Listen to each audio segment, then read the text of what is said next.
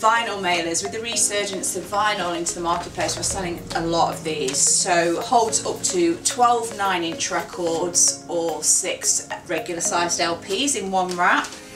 Um, simply place them in, really easy to use. You can see there that it's holding those records in securely so they're not going to get damaged in transit.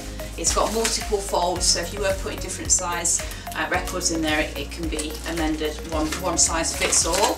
Simply folds over, peel and seal tape to stick it down and then it's got a ripper for the client on arrival. So obviously records are fragile items, this has got impact resistant um, corners, it's a real strong rigid material, it's been tried and tested with transit trial this a million times and it will ensure that your records arrive safely in one piece.